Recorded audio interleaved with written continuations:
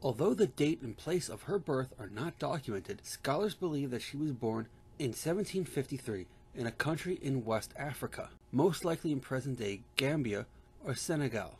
Her birth name is unknown and she was sold into slavery around the age of six or seven by a local chief.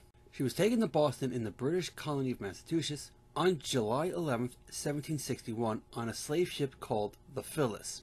On arrival in Boston, she was bought by the wealthy Boston merchant and tailor John Wheatley as a slave for his wife Susanna.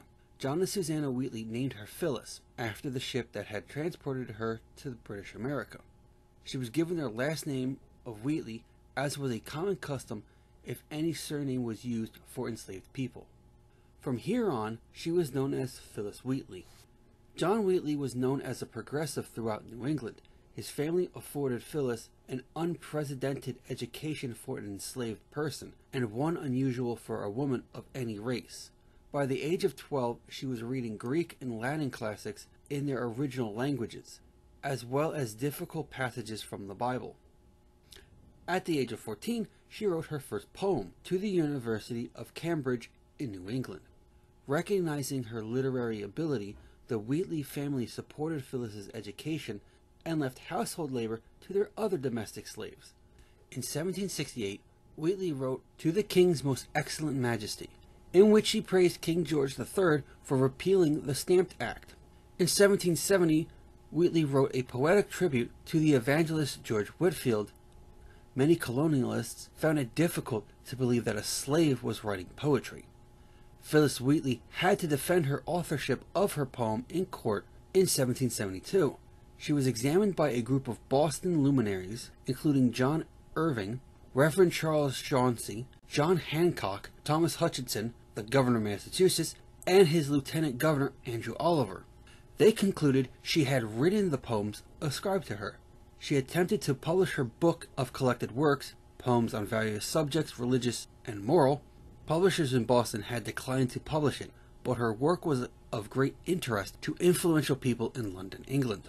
In 1773, at the age of 20, Phillis accompanied Nathaniel Wheatley to London, England, because Susanna believed Phillis would have a better chance of publishing her book of poems there. She had an audience with Frederick Bull, who was the Lord Mayor of London, and other significant members of British society. The Countess of Huntingdon, Selina Hastings, became interested in the talented young African born woman and subsidized the publication of Wheatley's volume of poems, which appeared in London in the summer of 1773. Poems on various subjects, religious and moral, was printed in 11 editions until 1816. After her book was published by November 1773, the Wheatleys emancipated Phillis. Phillis Wheatley wrote a letter to Reverend Samson Occom commending him on his ideas and beliefs, stating that enslaved people should be given their natural born rights in America. Her former slave owner, Susanna died in the spring of 1774. In 1775, she sent a copy of a poem entitled To His Excellency George Washington to the then military general. The following year, General George Washington invited Phillis Wheatley to visit him at his headquarters in Cambridge, Massachusetts, which she did in March of 1776. Thomas Paine republished the poem in the Pennsylvania Gazette in April of 1776. Shortly after the death of John Wheatley in 1778, Phillis Wheatley met and married John Peters, a free black grocer. They lived in poor conditions and two of their babies died. John was imprisoned for debt in 1784. With a sickly infant son to provide for, Phillis became a scullery maid at a boarding house, work she had never done before.